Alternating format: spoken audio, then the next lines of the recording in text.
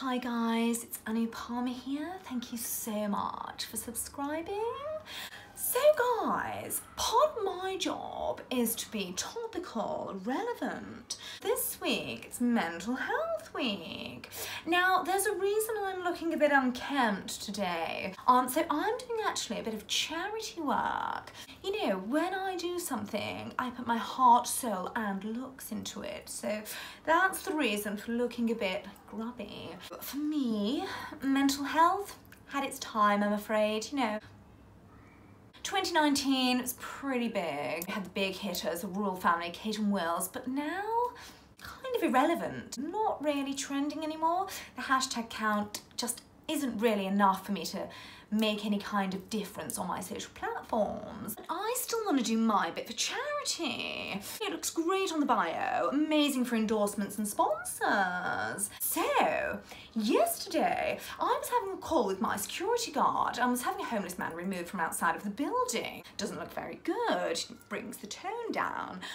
I had a brainwave. Like Martin Luther King said, charity starts at home. So I started thinking, what's close to my heart? And I was doing a bit of research, not really much I could connect with. And then I suddenly thought, oh my God, TikTok, that's where all the people with the real problems are. Started looking through TikTok. I came across this poor hun. I mean, in this particular post, she's having to eat alone. Shame.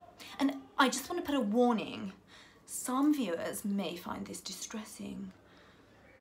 I have to go out for dinner on my own tonight because Alex is working late. What is the most unapproachable outfit that I could wear? I'm just in no mood to make polite conversation with anyone or tell anyone to politely piss off. What shall I wear to avoid that happening? heartbreaking, you know, being so attractive that you have to ask the nation how to be undesirable.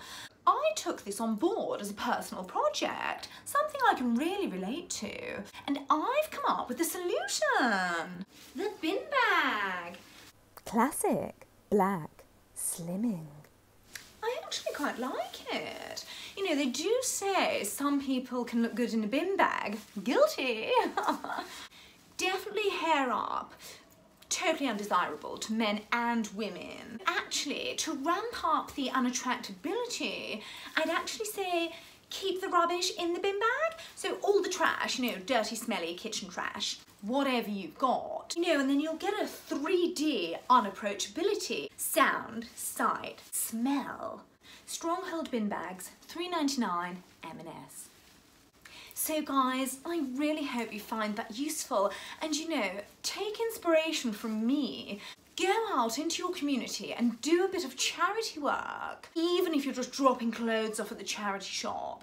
Do let them know if it's designer and they'll pop it into the section that are, you know, they'll price it up so undesirables can't wear it. That's what's really great about my local charity shop. You know, you don't want a homeless person running around in a Gucci suit. Bad for branding.